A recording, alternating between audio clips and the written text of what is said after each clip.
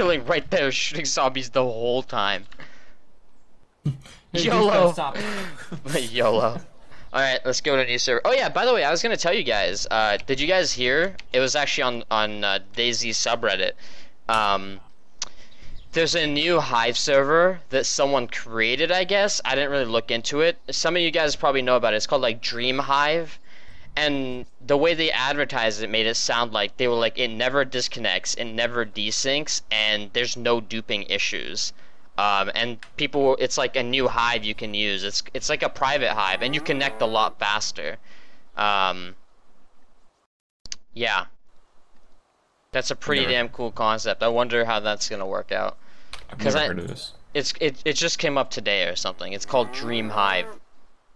Yep, right there. What Funboard has and Liam has. You guys check it out. Play Takistani. How about no? How about we're gonna play some DayZ? As soon as I find a server. Okay, hold on. I think I got one. Uh, okay, I got one. I'm gonna message you. I'm waiting for it. Wow. A lot of people join the mumble. Uh, Never mind. Not really. it's a weird name, kind of. Look for the one that has this in it. Okay. Okay. Oh, I know what you're talking about. Yeah.